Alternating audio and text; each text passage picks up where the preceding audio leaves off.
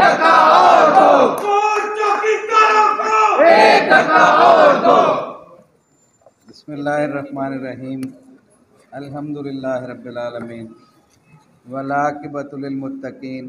वसलात वसलाम ख़ातमनबीन शाहरुख शहबाज वड़ाइच, मेरे finance secretary, मेरी सेक्रेटरी साहबा सबाहत रिजवी साहबा और आज हमारी शोला बयान मुकर रबिया बाजवा साहबा यहाँ मौजूद नहीं है, वो अपने किसी हवाले से लाहौर से बाहर थीं।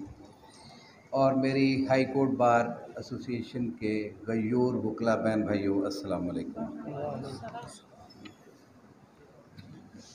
सच मानिए, जब हाउस होता है ना तो दिल चाहता है कि तमाम वकील अपने सब काम छोड़ के यहाँ पे मौजूद हों।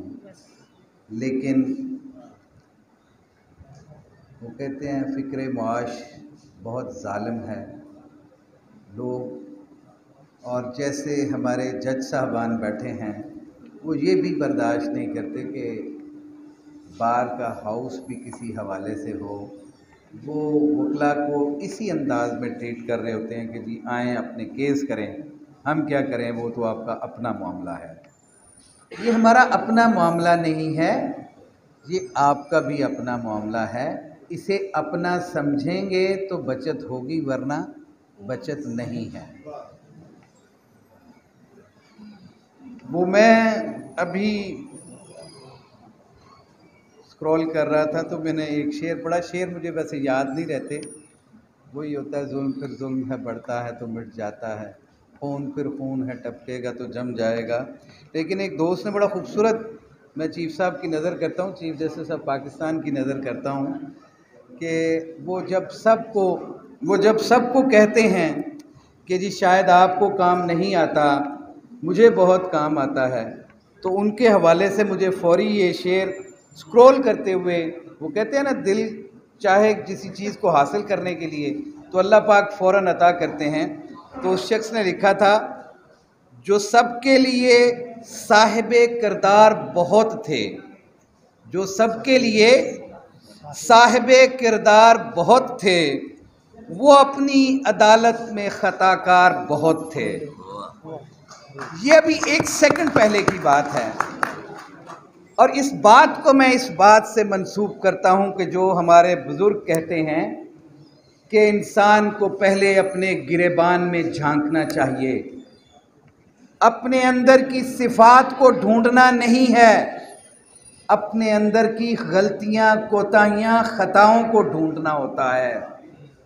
हम जब एक उंगली किसी शख्स पे उठाते हैं तो भूल जाते हैं कि चार उंगलियाँ हमारी तरफ़ हैं।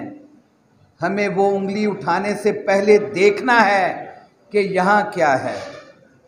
क्या हम वो साहिब किरदार हैं जिस इज़्ज़त की हम डिमांड कर रहे हैं? क्या हमारा किरदार वही है? क्या हमारा कंडक्ट वही रहा है? अभी कुछ दिन पहले तो आप जुडिशरी से एनआरओ लेके निकले थे।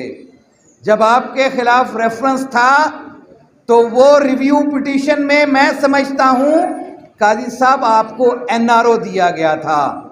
और इस वजह से आज आप काजी के अहदे पे चीफ जस्टिस ऑफ़ पाकिस्तान बन के बैठे हुए हैं। उस बात पे मैं बहुत ज़्यादा बात इसलिए नहीं करूँगा कि सोचना है इन्हें कि ये 22 करोड़ अवाम अपने फंडामेंटल राइट्स की बात कर रही है। मैं सलाम पेश करता हूँ। आज राहील कामरान चीमा ने जो अपनी रेकोजिशन दी वो इस घुटन के माहौल में बारिश का पहला कतरा बने। आज समझा जाता है कि शायद इन परवरदा लोगों के हवाले से कोई बात की जाएगी तो कुछ लोग नाराज़ हो जाएँगे। नाराज़गी मोल लेना हमें आती है। उसका कोई खौफ नहीं है। उसका खौफ इसलिए नहीं है कि हमने अपने ऊपर तमाम जबर, जुल्म बर्दाश्त करने सीख लिया है।